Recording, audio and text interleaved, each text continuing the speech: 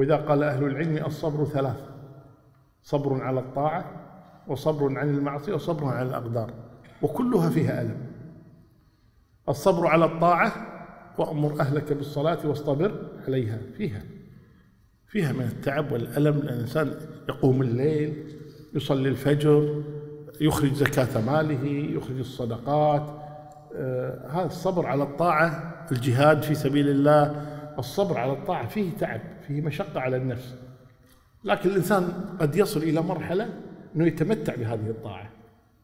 مهما كانت ثقيلة على الآخرين لكنه يجدها متعة وراحة يفرح بها.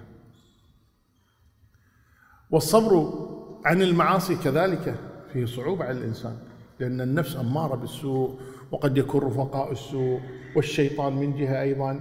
كل هذه تدعوه إلى فعل المعاصي لكنه يصبر. ويتحمل خاصة إذا كانت الأجواء تساعد على فعل المعاصي كما قال النبي صلى الله عليه وسلم رجل دعته امرأة ذات منصب وجمال فصبر عن هذه المعصية أمسك عنها. وغيرها من المعاصي جاءته رشوة جاءته رشوة في عمله مبلغ وقدره فصبر عن هذه المعصية مع أنه محتاج لهذا المال أو كذا. فالقصد أن الصبر عن المعاصي كذلك في مشاء أما الصبر على الأقدار فأظهرها.